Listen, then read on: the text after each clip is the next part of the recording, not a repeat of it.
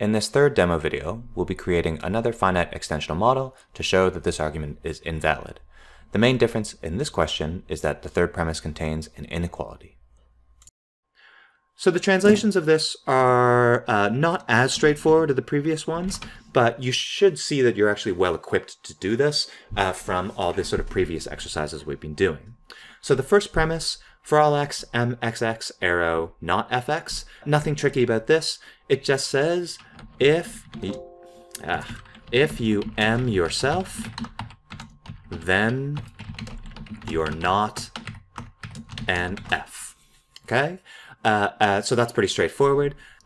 Premise 2 looks a little weird because we haven't done lots of biconditional translations before, uh, but you actually know what the biconditional means, and you should realize that you know what negation in the second slot of the biconditional means, because you could take this negation in the second slot and actually rip it out so that it looks like a uh, negation of biconditional waiting to happen. That's fine. Now, why am I focusing on this? because you should remember that this form, this this is something we, we might not have talked about since sentential logic. This is actually a nice form of something, and it's a form of uh, a common English phrase. Can you see it? This common English phrase is the exclusive or. So the negation of a biconditional is the exclusive or. That's something we've known for quite a long time.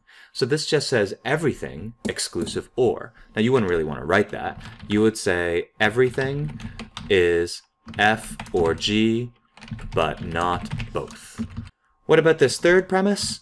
Well, this third premise, again, there's nothing actually too bad about it. It just says this numerical phrase, and you should recognize that it says a numerical phrase from the fact that it has a does not equal, and it's repetitive, and so on, and from all the work we've done in symbolization. So what does it say?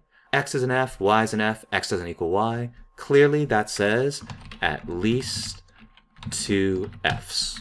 So I can say there are at least two f's and mxy and not mxy. Well, what does that mean? They m each other one way, but not the other. So like before, I'm going to do the negation of the conclusion. Well, the negation of the conclusion, again, a mini derivation will be really sort of handy here. So the negation of the conclusion here is not for all x, negation mxx. I'm not going to translate this. This is just ridiculous. Clearly, this just says there exists x mxx. How did I get that?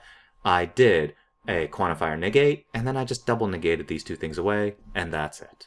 Uh, something m's itself. UD, I'm going to start with 0, 1, and I leave it open just in case. I need F1, I need G1, uh, and finally I need M2. So I always like to start at the existentials. The existentials I just find are the, the, sort of smartest places to start. So something m's itself, there are at least two f's. These are two solid places to start. So something m's itself, well, what do you want thing that, that thing to be? I don't care. How about zero?